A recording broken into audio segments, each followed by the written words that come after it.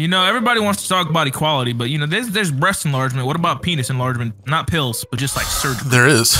You know what they do is like every man has like three or four inches of dick that's like in their body, and they just pull the rest of it out. So what you're saying is, you guys Oh, know. I hold you. If I pull hard enough,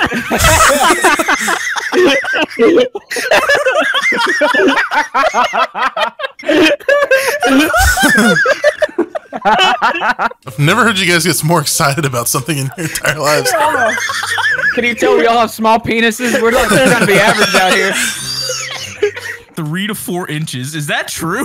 Damn, I ain't even got three inches right now. Shit. I, you mean I got more inside me than outside? Shit, girl, you want a dick pic? You don't need to take an X-ray. Jesus Christ. You just send her an X-ray. My dick is a fucking iceberg. Bye.